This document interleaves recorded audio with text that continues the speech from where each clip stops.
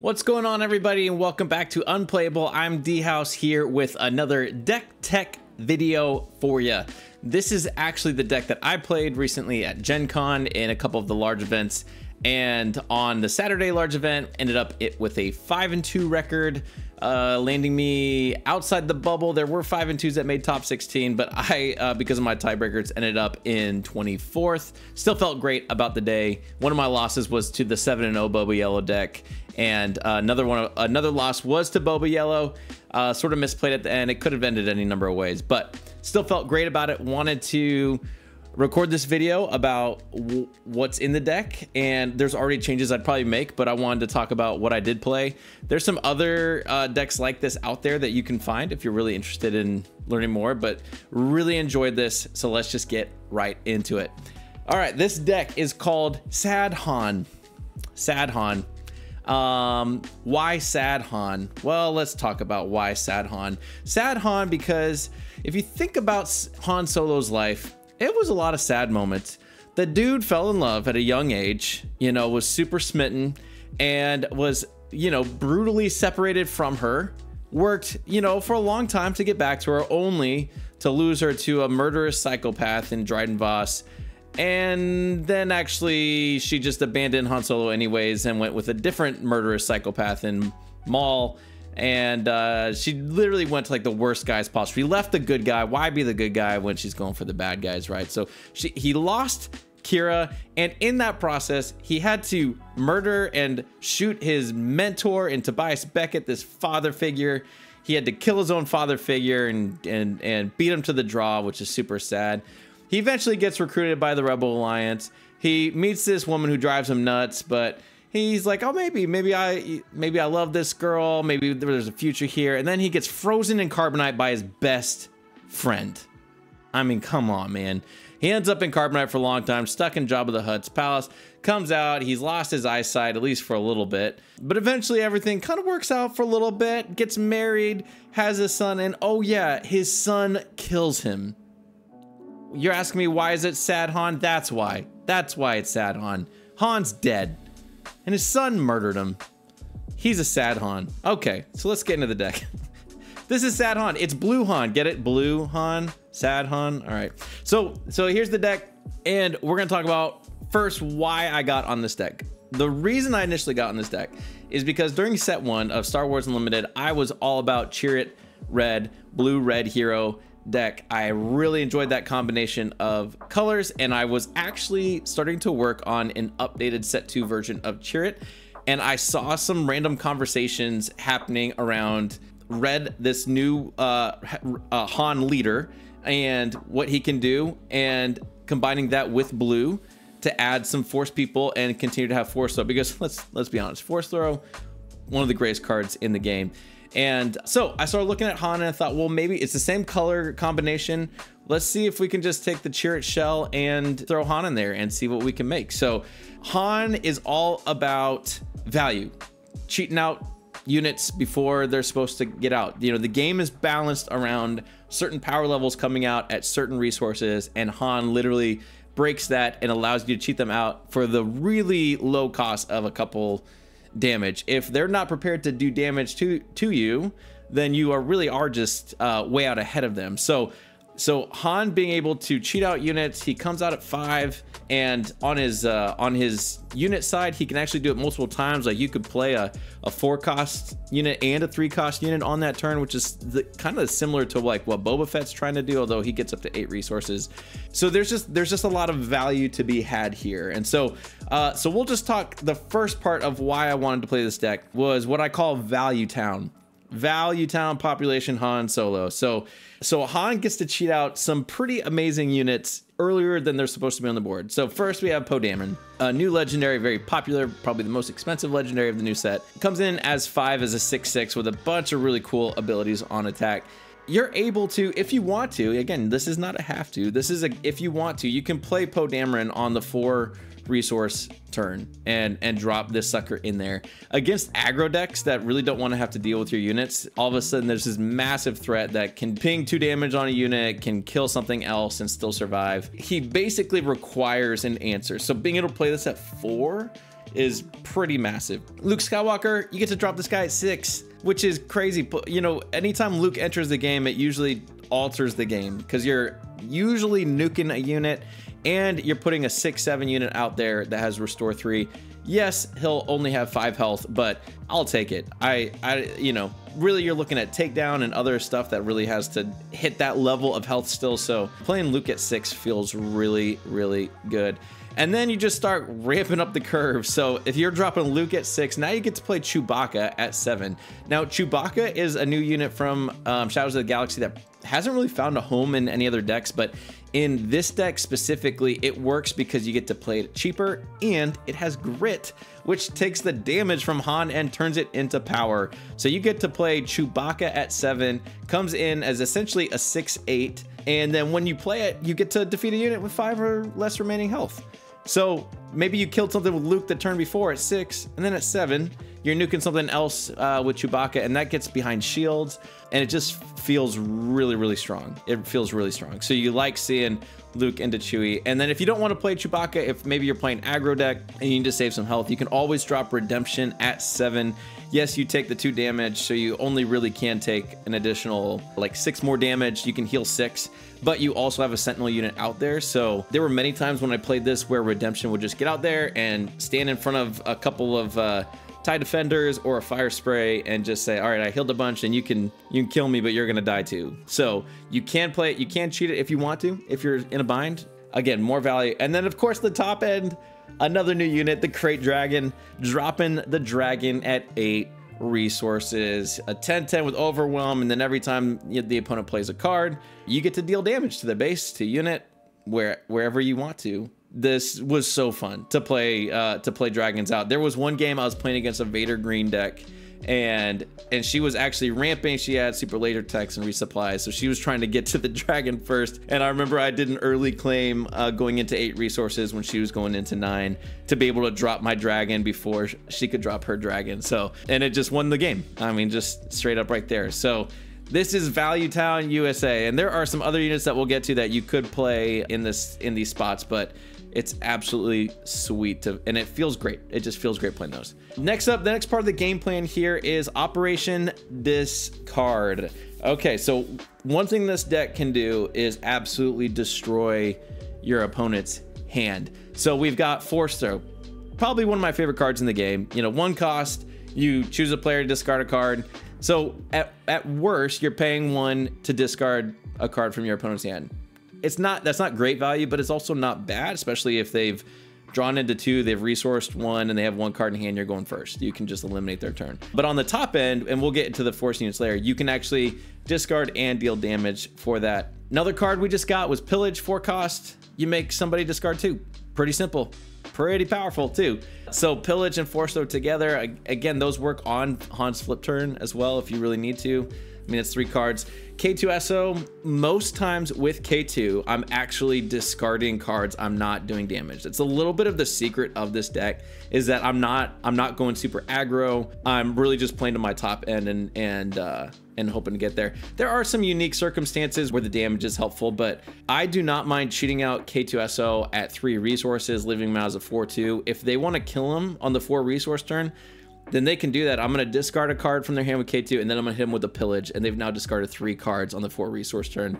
A lot of times, you're just you put them in top deck mode, and you start dropping these bigger units, and they can't do anything about it because they're just trying to get cards out and have something to play. So, so K2 is absolutely phenomenal in this deck, specifically for the for the discard. Because a lot of times, if they don't kill, then you can just overwhelm one of their units, kill something, uh, have some board control, and then discard. And then Poe Dameron, I don't use his ability to discard a card that often because you also have to give up a card, but in the right circumstance, it, that's certainly an option. Again, same deal where if you drop him at four, going into the five resource turn, sometimes you might want to get rid of a card and also pillage them so that they're going down three cards.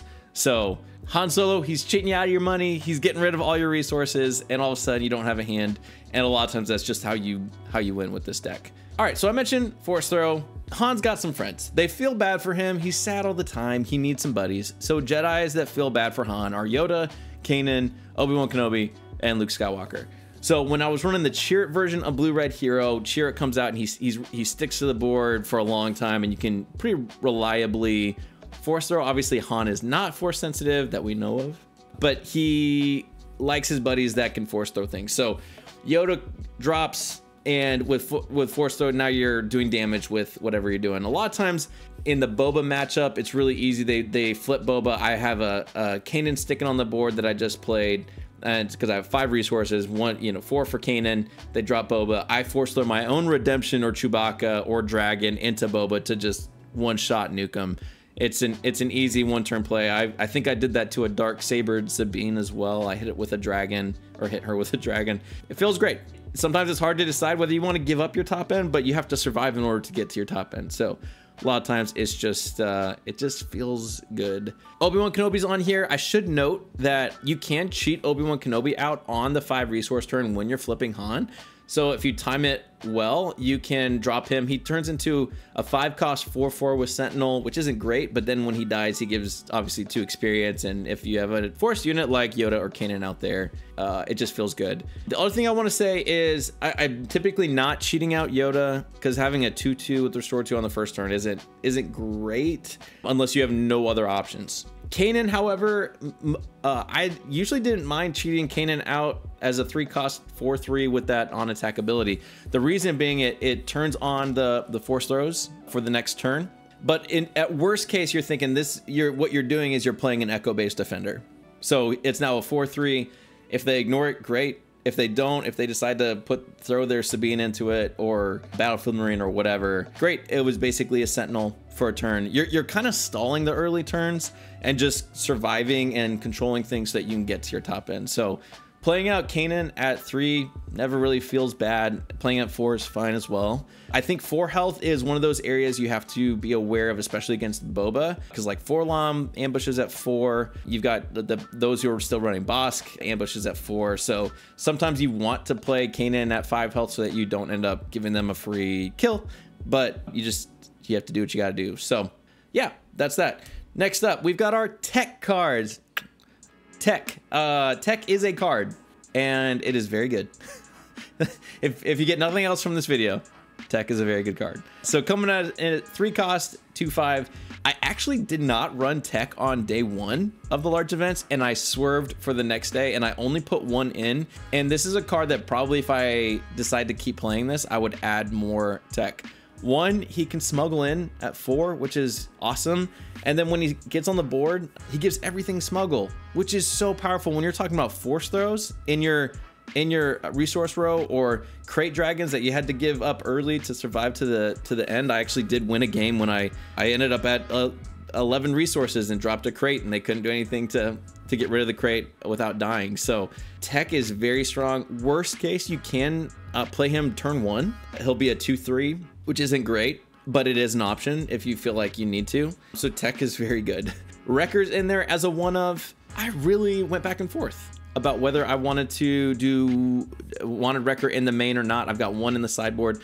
I ended up sticking with it. I think Wrecker is one of those cards. It feels bad when it turns off your curve because if you drop him at five, like if you do the Han thing where you drop him at five resources and now he's a seven four, if you do the the ability to kill a resource, now you're down to four resources. So now you you're two turns away from the Luke turn. But sometimes to be able to do that when you have five resources and to kill the Sabine before it gets dark sabered or to kill the battlefield marine that's been wing leadered or whatever, um, you, you it just gives you more time to get to that top end because sometimes if you don't do it then you're you're screwed. So i i like the one of wrecker. I i never really regretted having wrecker in that spot. I, feel like he was mostly useful. And then you know sometimes it's just dropping a six cost unit. If you just straight up play it and don't do it then it's a seven six with overwhelm. They they feel like they need to do something about. So i liked having the one of wrecker. And then i have the one of baze malbus in the main deck the reason I did this is because I did expect a lot of Sabine. And one of my favorite plays to just mess with Sabine's flip turn is to drop drop Baze at four and claim and just have them try to figure out how to get around Baze without using units because he has Sentinel and he has Grit. So most of their stuff can't kill it in one shot unless they've like Fleet Lieutenant or Wing Leader Sabine or Battlefield Marine or something like that. But it it presents a lot of issues, and there were a lot of turns where they decide not to flip Sabine or flip Sabine but not attack, and those are all good things. Just get us to our top end. So Baze creates some problems. Uh, occasionally he can create problems for Boba Fett, but a lot of Boba decks are running shoot first, so with their four attack guys, uh, Baze is not an issue, but sometimes it does create issues, which I'm all about. Next up, we got our standard fare. Nothing too crazy here. You know, A-Wing, Arc, Sabine, Open Fire, all standard set one stuff.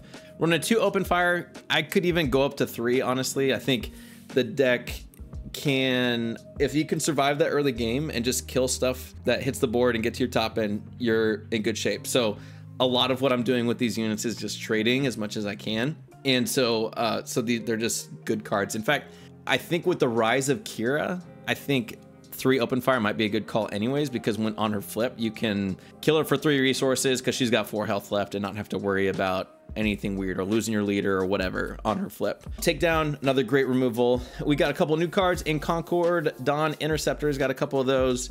I'm I'm I'm kind of 50-50 on this card. I think it's fine. It's not bad. Sometimes I just would put it there in front of a TIE defender and be like, okay, you can lose your shield attacking in the first time, and the second time we're trading, which is fine. Uh, there were times even just putting this in front of a fire spray was good enough to just slow him down.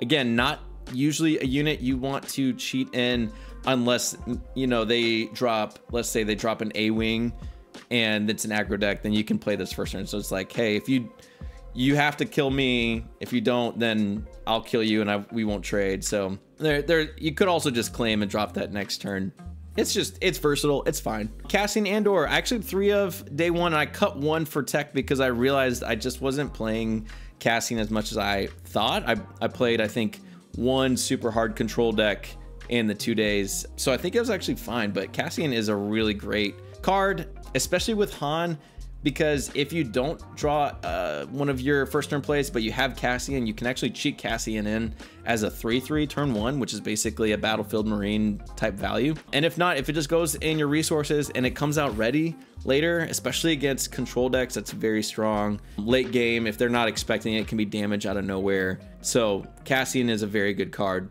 Really love that guy. Moving on to the sideboard. All right, this was my sideboard again. I would probably make changes but I'll just talk you through what I did. I have a, a second Baze Malbus. The top row is all cards I already have, just I would add more of. Second Baze Malbus for the Sabine matchup and Boba usually. The third Krayt Dragon, especially for control matchups, definitely want the third one in there.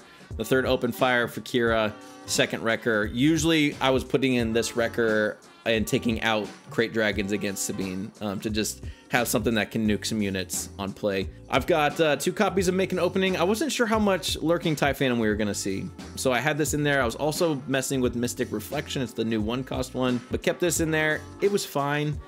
I think there was some play against some of the Qi'ra stuff that they were doing where they would take damage, but they would shield the unit, and this just gets around the shield and heals. So it's it was okay. It wasn't anything crazy. One copy of Vanquish for fire sprays, dragons, mauls, things like that.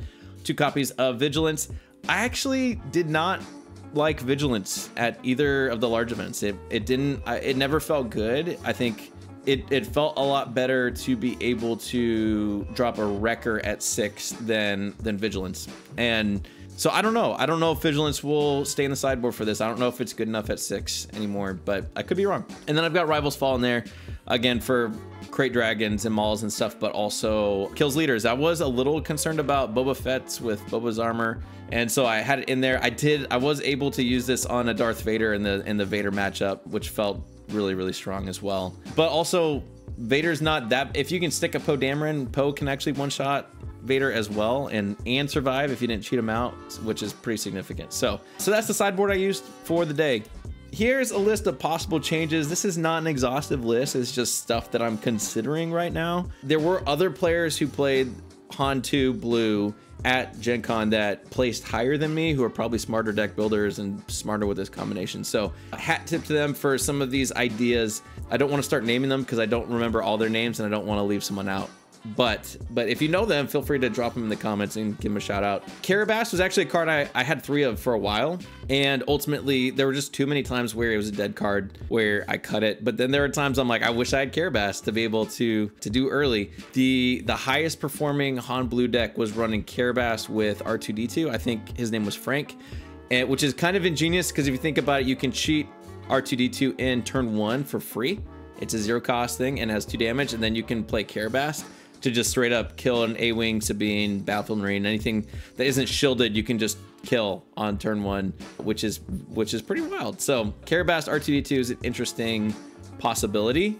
Mace Windu, another top end one. So if you're looking at the deck, you're like, man, I, I want to play this, but I don't have Luke's or I don't have Krayts or whatever. You could throw in Mace Windu. You could cheat him in at six. Then he's a 5-5 with ambush, killing something and then readying. I don't know if that's amazing, but if you want to play the deck a little bit more aggressively, it's certainly an option. You could kill a couple units with just Mace Windu. Village Protectors. So not super impressive unit, just 2-2 with uh, Sentinel and Shielded, where sometimes you just put put these these villagers in front of all your damaged units and say it's going to take you a minute to get them unless you have clear removal from your hand. So I, I don't think this is a unit you cheat out. I don't think you give up that shield, but it in a pinch, it could be. So I'm I'm thinking about it. Fell the Dragon is in there just as a if Krayts, Krayt dragons, and uh, honestly, we saw a lot of Maul because of the Qi'ra Green out there as well. You know, uh, Vader units, things like that. I just like takedown overall, but Fell the Dragon certainly has its its uses. The Force is with me, so because I'm so heavy in the Force package already, there is uh, a scenario in which maybe having forces with me is a good idea. I could play Kanan at three resources as a 4-3, then take initiative. First action, second round, I could play forces with me, you know, boost Kanan back up to a 6-5 with a shield and hit base or hit a unit, heal some stuff. It could be pretty sick. So it's a, it's a possibility. Already mentioned R2D2 and then this last one, I actually got to give a shout out to uh, old Matty Gem, but he's he was testing Razor Crest with top target, and I thought that is interesting because you could play Razor Crest as uh, at three and as a three two with restore two and bring back a top target. And top target is just a really cheap healing kind of thing where if you can stick that on, uh, especially a unique unit and heal four, heal six, it might be what replaces vigilance in the sideboard and maybe razor crest comes in instead of the instead of the Concord Dawn interceptors. I don't know. I don't know. It's just it's interesting and i may decide to try it at some point. So you feel free to tinker as well. So with your help we can make sad han a happy han everybody. The dude has had a tough tough go but i believe together we can make sad han a happy han so hope you enjoyed this deck tech. I hope you enjoyed hearing about some choices. I'm sure many of you out there are working on other variations of this. I'd love to see in the comments. What are you doing? What do you what have you enjoyed? What are you sneaking out that uh, that needs another look? And and let's see what we can do with this deck. Thanks so much for watching, guys, and hope to see you in the next one. Bye.